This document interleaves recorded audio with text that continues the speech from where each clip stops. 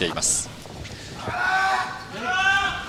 でこの試合が高田対エメリアエンコ・ヒョードルフというリングスロシアの選手です。これヒョードルフがあの3ボケの選手だと思ったんですけどね、はい、打撃がすごかったですね。あっという間これ12秒です。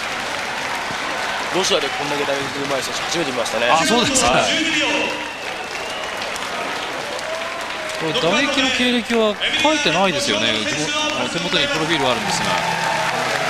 これでまたサンボとかそういうのも強いと思ったらやっぱり恐ろしい選手ですね。あそうですよね、今そういった技もちょっと見たかったんですがそれはほとんど出てきませんでした。97年サンボのロシア選手権で優勝している選手です。ヨーロッパ選手権でも優勝。あと柔道もロシア選手権で優勝しています